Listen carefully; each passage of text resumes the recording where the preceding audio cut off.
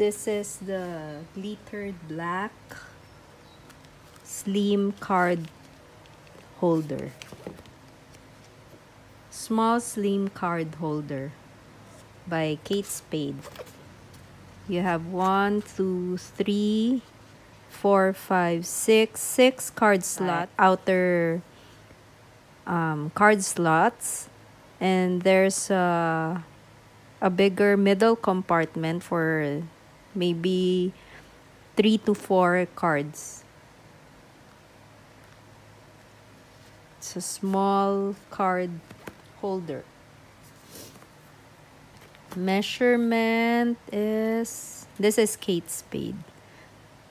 Uh, 4.3 inches length and the height is 3 inches.